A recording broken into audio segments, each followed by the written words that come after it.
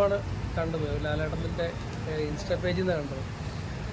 എന്തൊക്കെയോ പുള്ളി കരുതി വെച്ചിട്ടുണ്ടെന്നുള്ളതിന്റെ ഒരു സൂചനയാണ് ഈ പോസ്റ്റർ കണ്ടപ്പോൾ എനിക്ക് തോന്നിയത്. പാൻ ഇന്ത്യ ഫിലിമാണ്. അതും ലാലേട്ടന്റെ പാൻ ഇന്ത്യ എന്ന് പറയുമ്പോഴത്തേക്ക് തന്നെ നമുക്ക് ഞെട്ടിക്കാൻ കുറേ കാര്യങ്ങളുണ്ട്. ഇതിൽ ഞെട്ടിക്കുക എന്നുള്ള ഉദ്ദേശിക്കുന്നത് രണ്ട് കാര്യങ്ങളാണ് എന്റെ ഒരു പോയിന്റ് ഓഫ് വ്യൂ ഒന്ന് ലിജോ ജോസ് പെല്ലിശ്ശേരി എന്ന അതികായകനായ ഒരു ഡയറക്ടർ രണ്ട് ഇന്ത്യയിലെ തന്നെ one of the most heavy actor എന്ന് പറയുന്നത് ലാലേട്ടൻ. ജയിലറിൽ നമുക്കറിയില്ല വെറും ഒരു അഞ്ചോ പത്തോ മിനിറ്റ് കൊണ്ടാണ് ലാലേട്ടൻ വരുമ്പോഴത്തേക്ക് ആ പടത്തിന്റെ ഒരു റേഞ്ച് തന്നെ മാറ്റിക്കളഞ്ഞത്. ഇനിയുള്ള രണ്ടര മൂന്ന് മണിക്കൂർ ലാലേട്ടന്റെ മലയക്കോട് ബാലുവൻ വരുമ്പോഴത്തേക്കും തിയേറ്റർ ഇളകി മറിയും എന്നുള്ളതിലാണ് പൂർണ വിശ്വാസമുള്ളത്. ലാലേട്ടൻ ആ വിശ്വാസം കാക്കുമെന്ന് വിചാരിക്കുന്നു.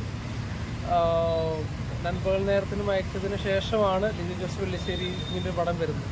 പക്ഷേ ഇത് ഫസ്റ്റ് അനൗൺസ് ചെയ്ത ആ ടൈം തൊട്ട് ഈ ടൈം വരെ ഓരോ ചെറിയ ചെറിയ കാര്യങ്ങളും ലിജു ജോസ് ഇട്ട് തരുമ്പോൾ നമ്മളിന്ന് എക്സ്പെക്ട് ചെയ്യാത്തൊരു ടൈപ്പ് ഫിലിമാണ് എന്നാണ് എന്റെ ഒരു പോയിന്റ് ഓഫ് വ്യൂ തോന്നുന്നത്.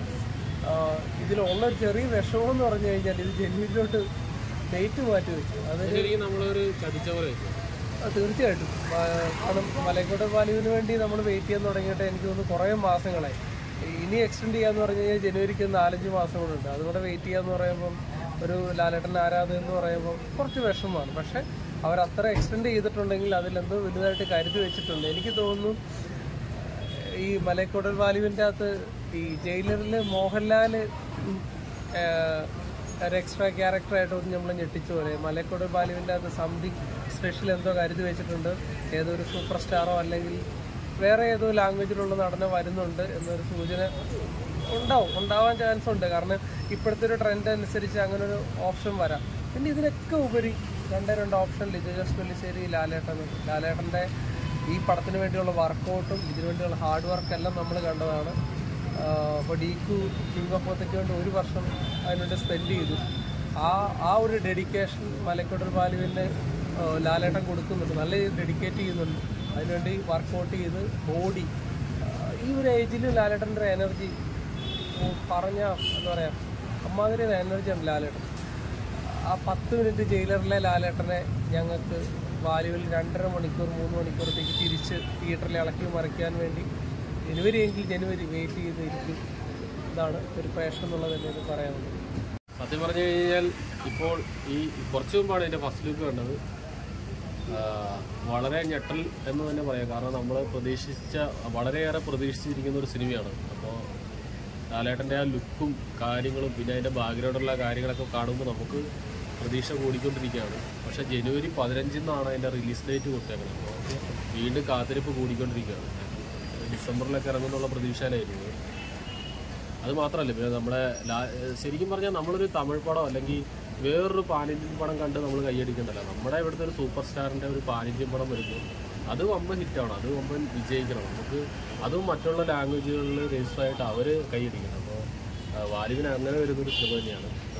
പാനിന്ത്യൻ ലെവലിൽ ഇളക്കാൻ പറ്റുന്ന എല്ലാ സംഭവവും ഉണ്ടെന്ന് ഓരോ ഇന്റർവ്യൂകളിൽ നിന്ന് ഓരോരുത്തർ പറയുന്നത് കേട്ടു.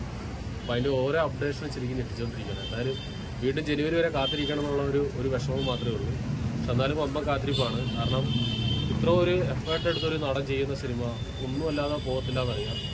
പിന്നെ ലിജോസ് പലിശ്ശേരി എന്ന ഒരു വലിയൊരു സംവിധായകരൊന്നും ഇത്ര വരുന്നൊരു സിനിമയ്ക്ക് നല്ലൊരു പ്രതീക്ഷയുണ്ട്.